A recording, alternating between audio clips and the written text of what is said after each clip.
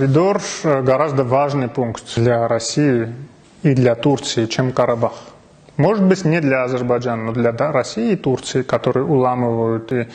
пытаются заставить Армению согласиться, это гораздо более важный пункт, потому что это миллиардные товарообороты оборот, это возможности военных э, перевозок без западного контроля, потому что, еще раз говорю, они не уверены, что завтра Армения присоединится не к Союзу Беларусь-России, к чему они стремятся, а, например, к НАТО при каким-то стечением обстоятельств. Поэтому они спешат захватить вот этот участок, чтобы в дальнейшем им ничего не препятствовало. Но, конечно, это будет невозможно, потому что этому препятствует не только Армения, сопротивляется как суверенная суверенная страна, но этим, против этого выступают и Иран, очень важный игрок в регионе,